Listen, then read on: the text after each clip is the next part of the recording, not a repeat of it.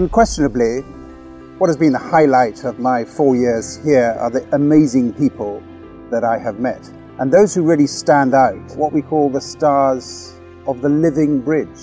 But what is the living bridge? For Prime Minister Modi, it was those people who bound the two countries together, the institutions, the ideas that didn't, weren't part of the government to government relationship. For me, the two words living bridge are what exactly they say. Those relationships may go back a century or more, but they are very much alive today and relevant. And like all things living, they need to be nurtured.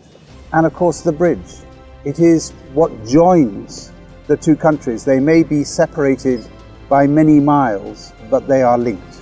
Part of this, of course, is the UK's one and a half million strong Indian diaspora who contribute to the economic, social, political, and cultural landscape that makes up British society.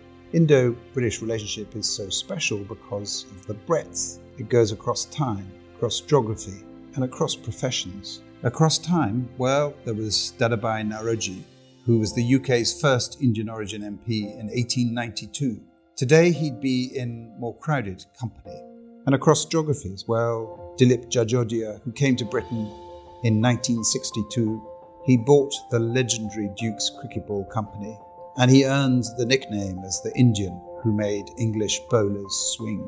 There's the neurosurgeon of the millennium, Robin Sengupta, who after 51 years in Newcastle returned to Kolkata to establish a top-notch neuroscience research and treatment centre. And across the professions, well, there are 850 Indian businesses in the UK there are over 20,000 doctors and nurses working in the National Health Service. And that spread applies not just to people, but to institutions, to research centres, to university faculties, to cultural organisations, to cookery schools, to design workshops.